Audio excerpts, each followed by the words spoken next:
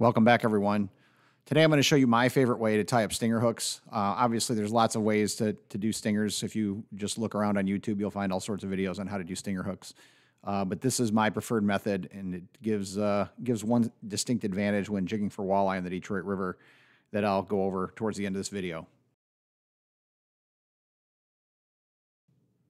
One of the great things about this particular stinger is that you just need a couple of cheap items. Uh, first, you're going to need a stinger hook. Uh, I like to use treble hooks. I think a lot of people do, but I do know some people that use single hooks. So whatever your preference is there, um, you know that's what you should go with. Um, you're going to need a length of line, um, probably about a foot long, uh, just to give you some extra to work with. And then the item that we're going to use to cinch the stinger hook down to your main hook is a bead. And the bead needs to have a hole in it that's roughly twice the diameter of your uh, line, maybe slightly more than that, but uh, not much more than that. Um, I'll show you why in a minute. And the nice thing about the bead is that they come in all sorts of shapes and sizes and colors. So um, you can get, uh, should be able to find the right size for the line that you're wanting to use. And then you can select colors that can sort of match your jig and plastics presentation.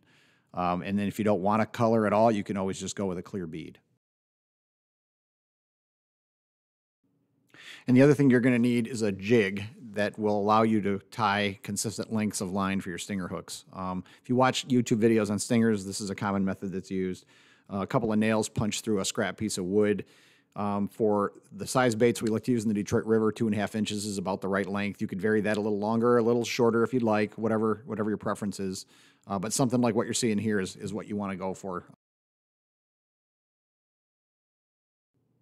So now that we've got our materials together and our jig ready to go, uh, we can start to tie the, uh, the stinger hook. Um, we're going to start by just tying a simple knot uh, to the hook itself. I like to use a Palomar knot. That's what I'm tying here.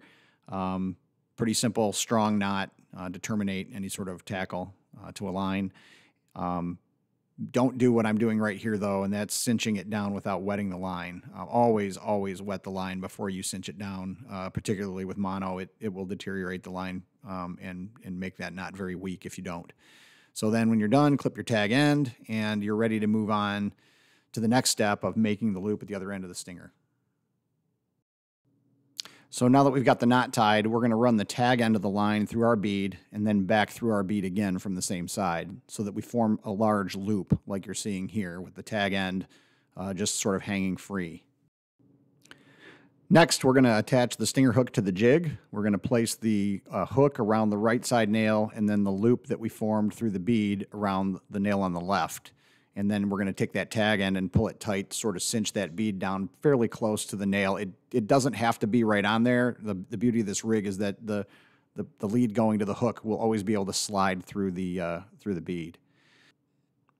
So the next step is that we're going to make a uh, knot in the tag end of the line. Just a simple overhand knot is all we need.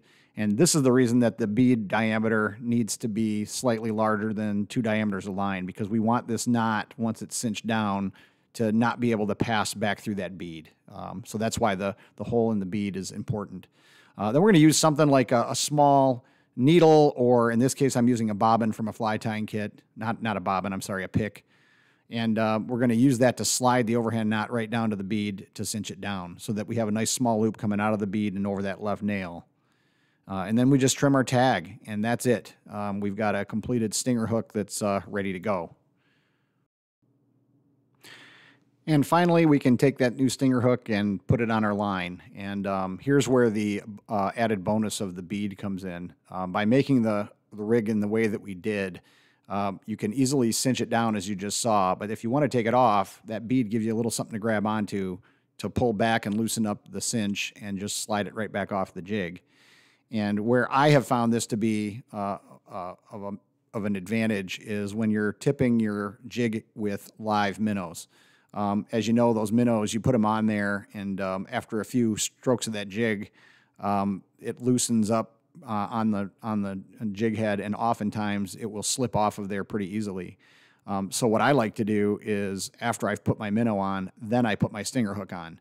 And um, you know, if I need to replace my minnow, it's really quick and easy to pop the stinger back off there and put a new minnow on.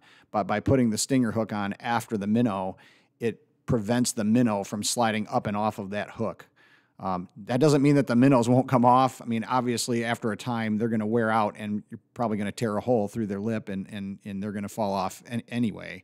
Uh, but I've just found that this method keeps them on there much much longer, and uh, gives you much more time with uh, that minnow on your bait. Uh, give you an opportunity to, to to get a fish. And as always, if you enjoyed this video, please hit that like button and consider subscribing to our channel. Thanks for watching.